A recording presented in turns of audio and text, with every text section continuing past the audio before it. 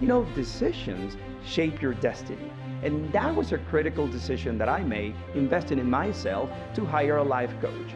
Who you are determines what you do and how you do it.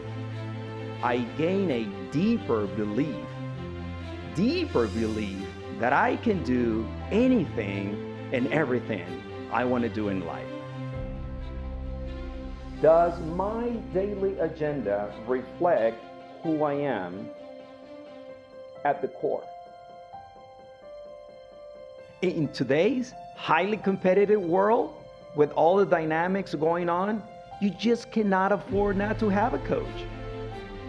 I want to add value to you as an individual or as an organization.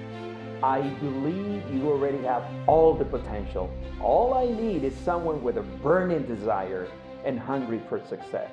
Let's talk about your next coaching experience.